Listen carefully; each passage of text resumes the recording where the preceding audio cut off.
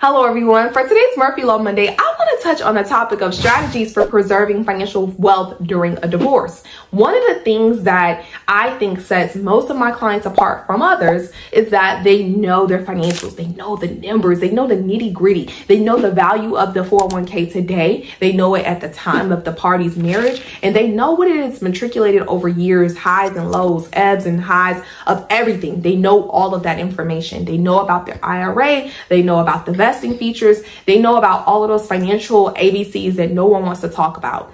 In addition to knowing their own things, though, the caveat is that they know the other parties. They have some type of information that my husband has blank in the 401k. My husband has blank in an IRA, or my wife has this secret stock that she told me she brought maybe four years ago that I know it increased when Microsoft purchased Google or whatever the, the, conversation you remember having with your spouse is. I want you to think about these things and not necessarily take note, but just put on your thinking cap, try to reflect on the history of all of the financials in the marriage that were related to you directly or just related to what you guys did together, because that is what's going to be relevant from the court's perspective. They want to know what monetary award is going to be at issue and what type of property, tangible or intangible, that the parties have that are at risk in this divorce.